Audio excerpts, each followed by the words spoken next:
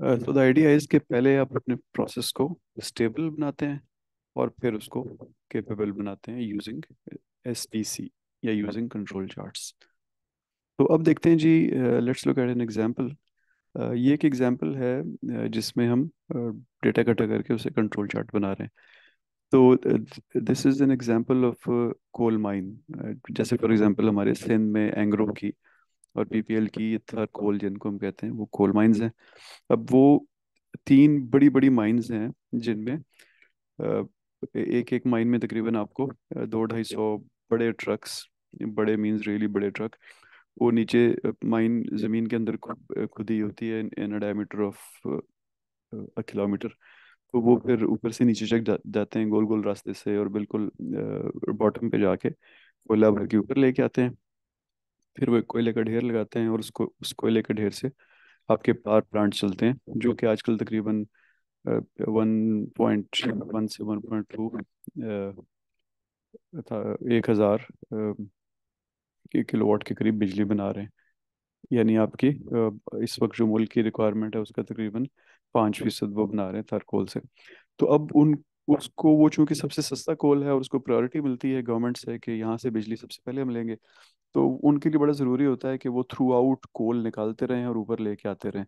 तो वो चार शिफ्ट्स में ये ट्रक्स काम करते हैं और आइडिया ये होता है कि ये मैक्सिमाइज करें कोल को ऊपर लेके आने को। अब ये आपका प्रोसेस है। तो अब अपने देखना क्या है कि एक दिन में कोल कितना आ रहा है ऊपर? क्योंकि this is the figure that you are interested in इसी से आप पैसे कमाएँगे। डजेंट मैटर कि वो आपको ज़्यादा ट्रक लगाने पड़ते हैं डजेंट मैटर कि आपको एज लॉन्ग एज वो आपके profit it make sense in terms of profits ज़्यादा ड्राइवर लगाने पड़ते हैं ज़्यादा बड़ी ढेरी लगानी पड़ती है। डजेंट मैटर इंपॉर्टेंट ये है कि ज़्यादा से ज़्यादा कोल माइन के सेंटर uh, से ऊपर तक आए। तो आपको कभी बहुत अच्छा भी मिल जाता है। कभी कभी ऐसा भी हुआ कि आप देखें डेटा को तो आपको पंद्रह सोलह टन कोल मिला। ऑब्वियसली ये ये ये किसी छोटी माइन की बात हो रही है, आपकी किताब की एग्जांपल है। ये हमारे थर कोल्स में तो we are talking of maybe hundred times more than this किसी दिन आपको फ़र्ज़ करें पंद्रह सोलह टन कोयला मिला, किसी दिन आपको ना होने के बराबर भी कोयला मिला। तो आप, आपको एवरेज तो तकरीबन दस की मिल रही है, लेकिन वो जो ऐसे दिन आते हैं जब आपको बहुत कम कोयला मिल रहा होता है जो आपके इस डेटा के मुताबिक कहीं फोर के करीब पहुँच जाता है तो वो आप, आपको वो नहीं चाहिए।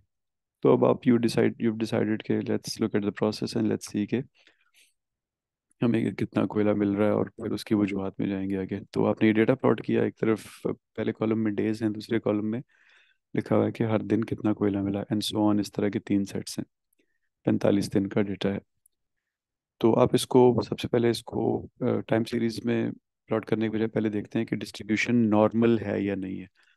अब किसी भी डिस्ट्रीब्यूशन को ये देखना कि वो नॉर्मल है या नहीं है it's it's fairly easy especially अगर आपके पास मिनी टैब वगैरह हो सॉफ्टवेयर तो आप इसी तरह डेटा लिखते हैं और वहाँ पे उसकी नॉर्मेलिटी चेक कर लेते हैं। वहाँ एक दो टेस्ट हैं एंडरसन डार्लिंग टेस्ट है इस तरह एक दो टेस्ट और हैं।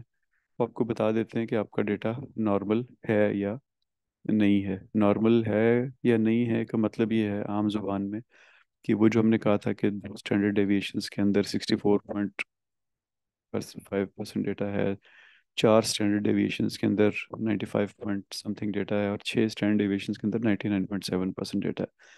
तो अगर ऐसा है मोर और लेस ऐसा है तो आप कहते हैं हमारा डेटा नॉर्मल है और आपके टेस्ट आपको बता देते हैं कि नॉर्मल है। अदर इन अदर वर्ड्स आप इंश्योर करते हैं कि आपका डेटा जब उसके कंट्रोल चार्ट बनाएँ तो it they should make sense और आप उससे फ़ायदा उठा सकें। नॉर्मल नहीं होगा तो फिर कंट्रोल चार्ट आपको कुछ नहीं बताएँगे।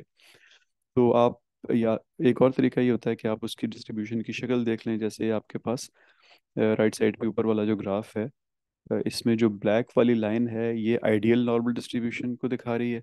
यानी सब डेटा इसको टच कर रहा होना चाहिए। और जो जो हिस्टोग्राम के ब्लॉक्स हैं, वो आपको एक्चुअल डेटा बता रहे हैं। तो मोर और लेस एक्चुअल डेटा जो है वो फॉलो कर रहा है। नॉर्मल डिस्ट्रीब्यूशन की पीडीएफ कर्व को आपको। पता चल गया कि डेटा नॉर्मल है, इसका मतलब है आप इस पर कंट्रोल चार्ट इस्तेमाल कर कर सकते हैं। फिर जब आपने उसका कंट्रोल चार्ट बनाया तो आपने देखा कि एवरेज पे तो आपको 10.3 टन्स पर वीक मिल पर डे मिल रहा है। लेकिन आपकी जो अपर कंट्रोल लिमिट है वो सत्रह पे है और जो लोअर कंट्रोल लिमिट है वो तीन पे है। कोई भी डेटा कंट्रोल लिमिट से बाहर नहीं है इसका मतलब है स्पेशल कॉज वेरिएशन नहीं है। तो लेकिन सवाल ये है कि कि आपको सब कुछ पता चल गया जो आप जानना चाहते थे? प्रोसेस तो इन कंट्रोल है तो एक्चुअली नहीं पता चला क्योंकि we were not happy with very low values ये एक वैल्यू चार के करीब है फिर आप देखेंगे अ, छः और आठ के दरमियान तो बहुत सारी वैल्यूज़ हैं। This is not the kind of output we want हमें ज़्यादा आउटपुट चाहिए। तो कंट्रोल चार्ट ने फ़िलहाल हमें अ, कोई सोल्यूशन नहीं बताया लेकिन प्रॉब्लम क्लियरली बता दिया। यहाँ पे अब मज़ीद प्रॉब्लम्स भी हैं जो जो कंट्रोल चार्ट जब आप आहिस्ता आहिस्ता असेस करना डिटेल में सीखेंगे यू विल नो कि इस डेटा के अंदर काफ़ी सारी प्रॉब्लम्स हमें नज़र आ रही हैं कि किस वजह से वेरिएशन इतनी ज़्यादा है। वो हम थोड़ी सी आज देखेंगे और मज़ीद आगे भी देखेंगे। लेकिन आइडिया ये है कि आप और क्या क्या जानना चाहते हैं? और ये कंट्रोल चार्ट आपको और क्या बता रहा है जो आप फ़िलहाल नहीं समझ पा रहे? अगले सेशन में इस चीज़ को देखते हैं कि कंट्रोल चार्ट को पढ़ने के डिटेल में क्या तरीके होते हैं।